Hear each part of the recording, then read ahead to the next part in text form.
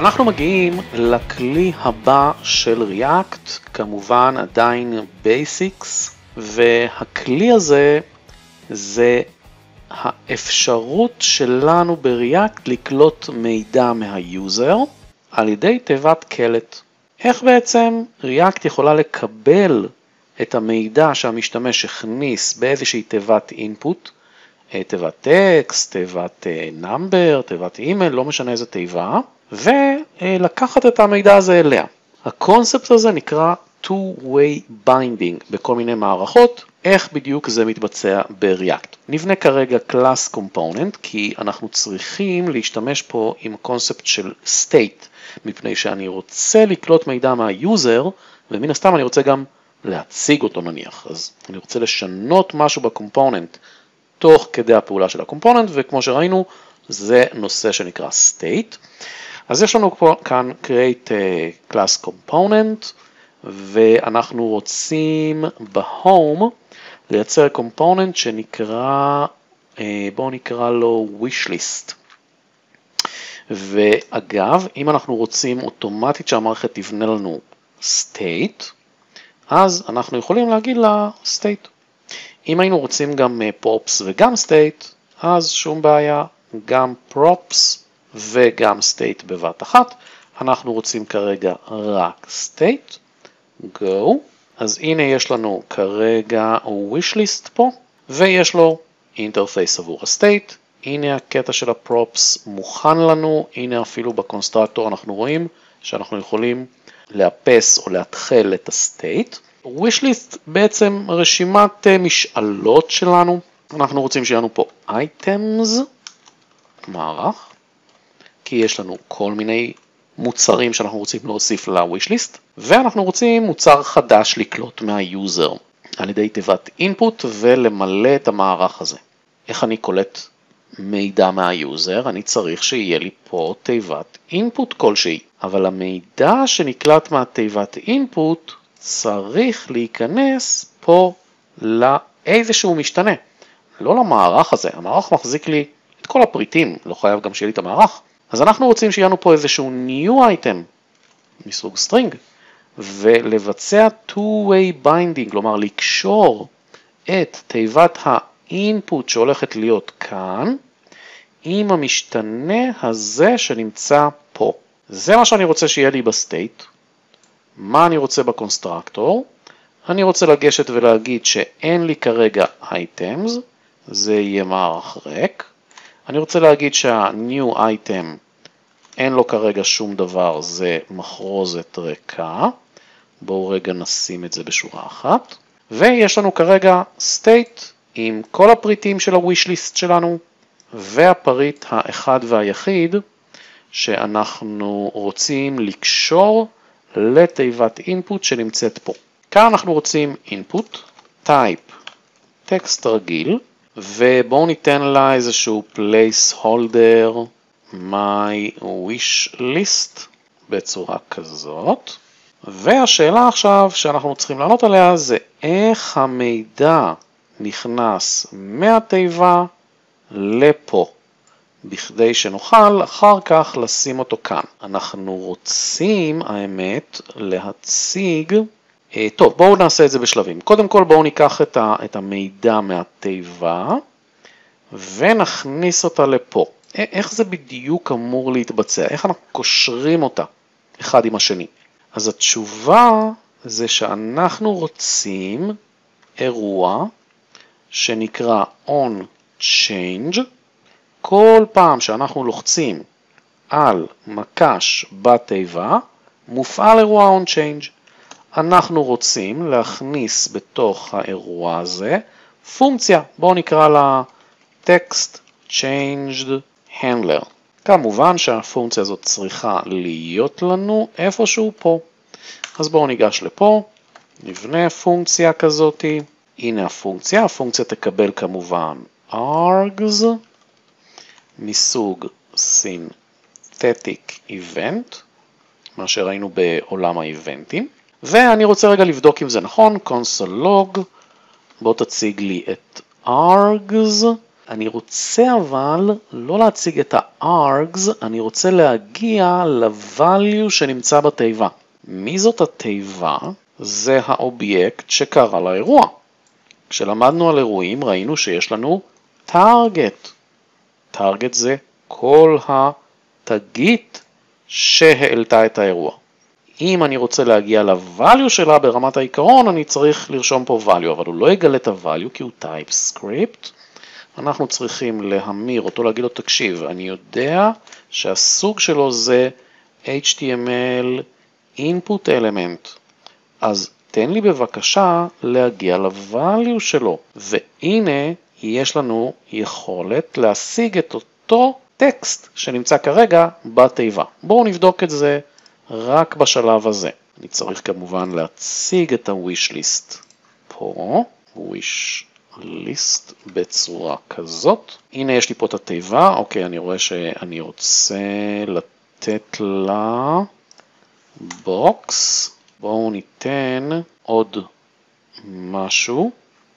ל-CSS נגיד margin, תן לי עשרה פיקסלים.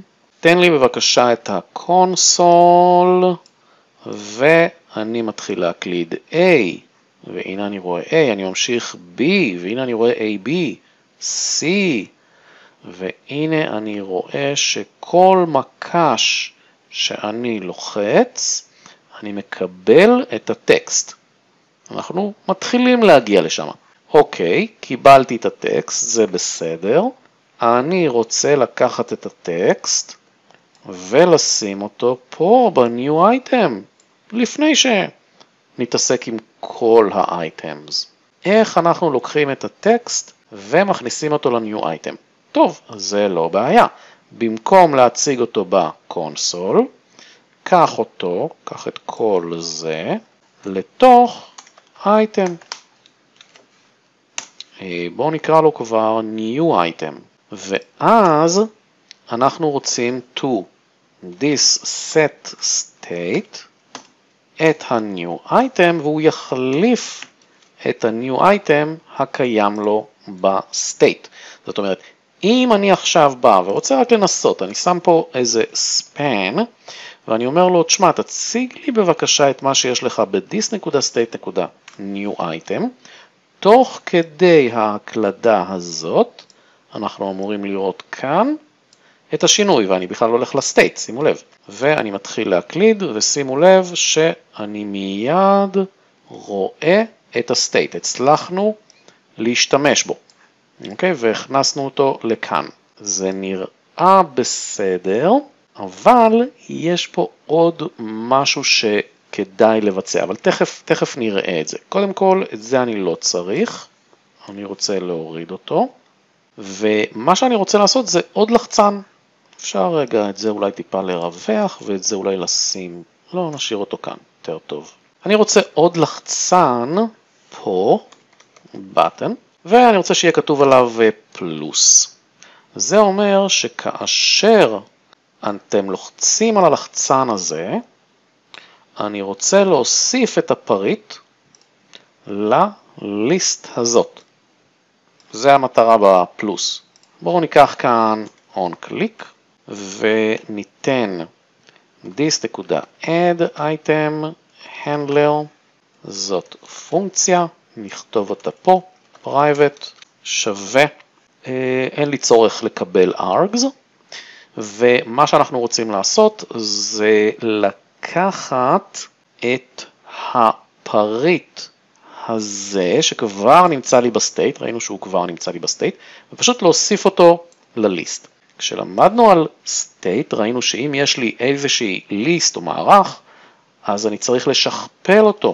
בואו ניקח ונשכפל את ה items על ידי spread operator, this.state.items, ובנוסף גם נוסיף אליו, אוקיי, נשתמש בטכניקה הזאת, אה, האמת בואו נעשה את זה בשני שלבים. קודם כל אני הולך ל-items.push ואני מוסיף אליו this.state.new item, זה מותר כי אני רק קורא אותו, אני לא כותב אליו, ואני מוסיף אותו למערך החדש ששכפלתי, ואז אני מוסיף אותו ל-state, this.set state בצורה כזאת, items, alright, אז המערך החדש, הפריט יתווסף למערך החדש שלנו. זאת אומרת שאם אני אציג כאן console.log של, כרגע זה יהיה items, אז אנחנו אמורים לראות את הפריט שהתווסף למערך items.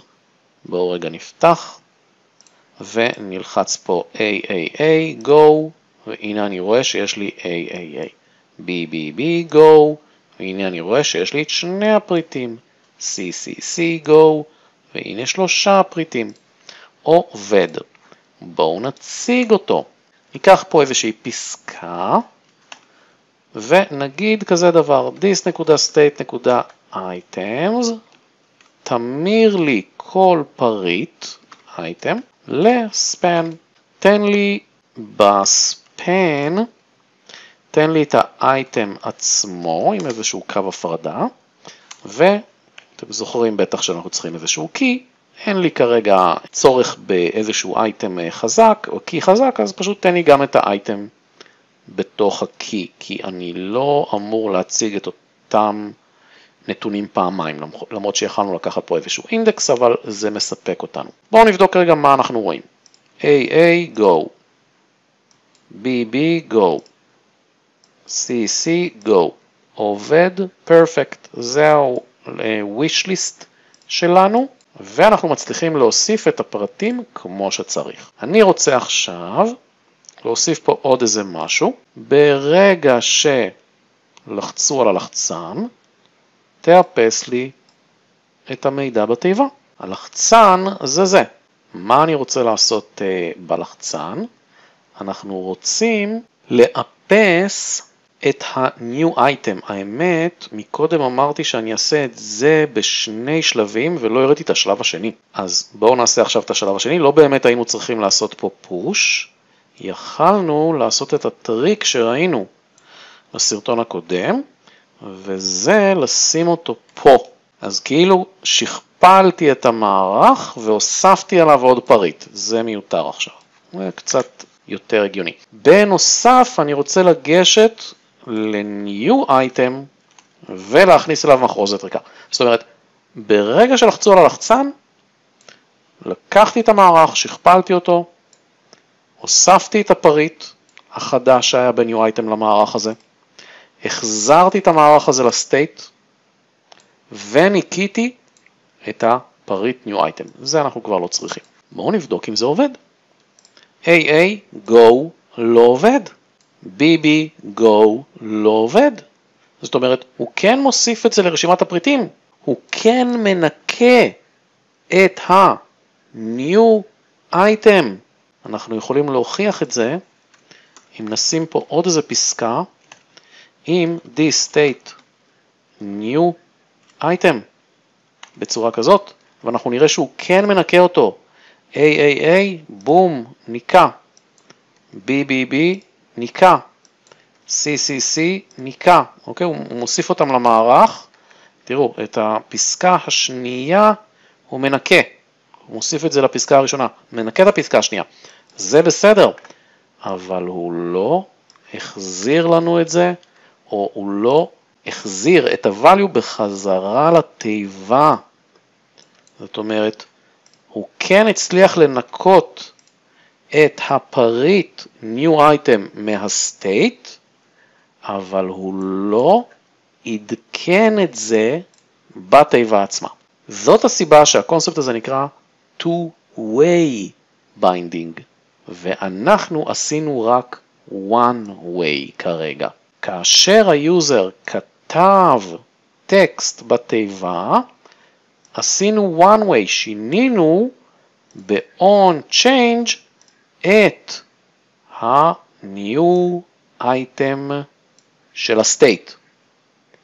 כאשר מישהו אחר, נניח הלחצן, משנה את ה-new item שב state, אנחנו רוצים להחזיר את השינוי בחזרה לתיבה. זה החלק השני של ה binding, וזה מאוד פשוט.